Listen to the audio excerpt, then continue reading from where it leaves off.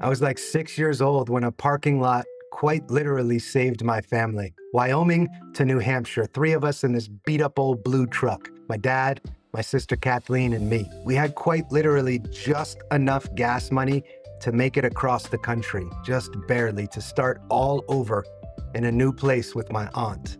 Near the end, we pulled into a McDonald's or a, Burger King parking lot. $4 left, maybe five. Certainly not enough for three people, even back in those days. Not enough to finish the drive. My dad looked at us and he said, Let's pray. I don't remember the words, but I remember the tone desperation mixed with surrender. Like we were drowning, but somehow we were gonna be okay. You're not gonna believe this, but we stepped out of the truck right there on the ground in front of us.